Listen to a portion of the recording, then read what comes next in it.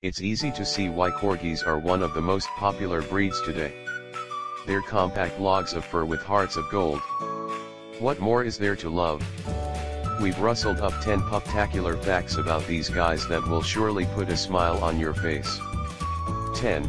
Corgis are the 11th smartest dog breed as ranked by psychology professor Stanley Coren.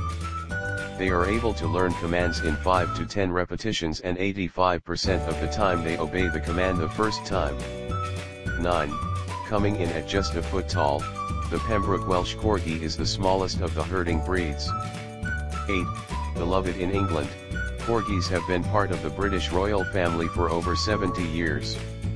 Queen Elizabeth II has owned more than 30 Corgis since she was a young child, making the breed synonymous with the royal family. 7.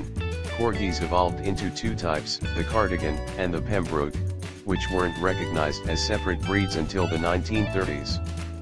6. Sutter Brown, an adorable Pembroke, was named California's first dog in 2010 after his human, Jerry Brown, was elected governor. 5. Don't get confused by their stocky build. Corgis are one of the most athletic breeds, as they were originally herders. They've been known to be shockingly fast runners. 4. While they make look different in stature, Corgis are closely related to Siberian Huskies. They are both in the Spitz family of dogs, characterized by their thick fur and pointed ears and muzzle. 3.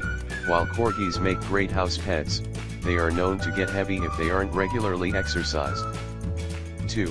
The Corgi name originated from the Welshmen who developed the breed and called them dwarf dog due to their stature.